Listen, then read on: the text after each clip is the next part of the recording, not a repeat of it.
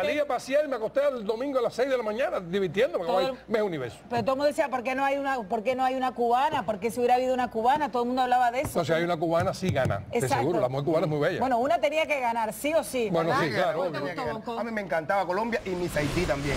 Me gustaba Miss Haití. Con todo lo que está pasando, sigue robando. Pero ya no hicimos las relaciones, ya no hicieron las relaciones. Buenas noches, buenas noches al saludarlos. Estamos dando inicio al noticiero nacional de la televisión cubana en su emisión especial para Miami. Y esta sí es una emisión especial, porque según el segundo comandante en jefe Raúl Castro Ruz, desde el 17 de diciembre la gusanera, la crápula contrarrevolucionaria de Miami, son nuestros amiguitos. Que conste que yo jamás hubiese estado de acuerdo con esto. Pero bueno, si nuestro comandante en jefe no dijo nada, mi currucuquito bello de la vida, ¿m? entonces seremos, seremos solo amiguitos. ¿m?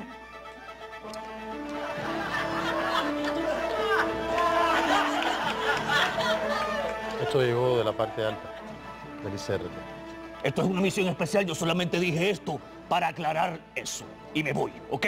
Goodbye. ¿Un viaje al extranjero para mí? ¿Para mí? Óyeme, gracias. No, gracias, Gracias, no. ¿cómo El ICR quiere que sea usted quien vaya a establecer relaciones comerciales con el Canal 41. ¿Yo? ¿Al canal 41? ¿Pero por qué con tanto come candela que hay aquí? ¿Por qué tengo que ser yo? A ver, dígame. ¿Tú estás gritando? No, pero con... Hay, hay mu- Hay muchos compañeros con bandera, pero nunca ninguno como tú. Te vas a ir en dos días. Y allá te vas a encontrar con Carlos, con Nadia y con Bonco. con esos lumpens. ¿Cómo? Perdón, con esos compañeros señores americanos. Sí. Prepárate y despídete que vamos echando rápido.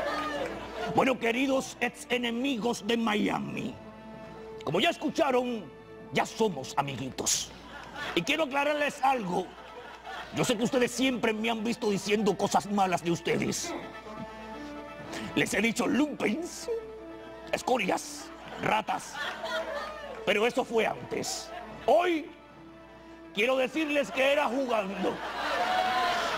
Nunca lo dije en serio. Me mandaron a decirlo. Por eso les pido que cuando llegue dentro de dos días, trátenme con cariño.